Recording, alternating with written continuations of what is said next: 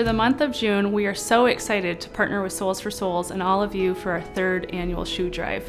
Every 10 check ins helps provide a pair of shoes to someone in need. We have provided over 87,000 pairs of shoes in the last three years and are so happy to be able to participate once again this year. Soles4Souls creates sustainable jobs and is committed to fighting poverty through the collection and distribution of shoes and clothing worldwide. Since Soles4Souls began, they've provided 30 million pairs of shoes to people in 127 countries and all 50 states. So remember to check in and help provide health, hope, and happiness through Soles4Souls.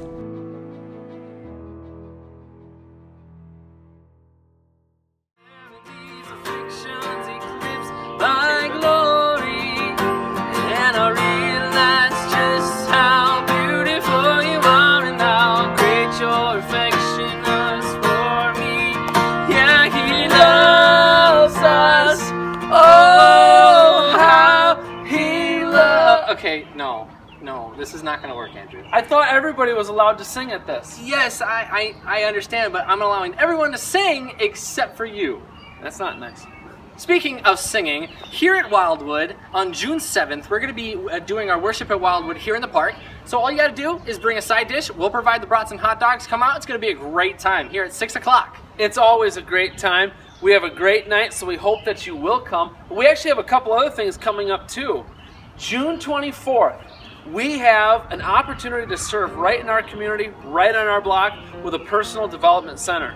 We're going to meet right here at church at 10 o'clock, and we're going to go until about 3 o'clock. If you can help during any of those hours, please come, let us know. There's a sign up sheet on the information table. We need as many volunteers as we can get. And then also, June 28th, we have the Koinonia kids coming.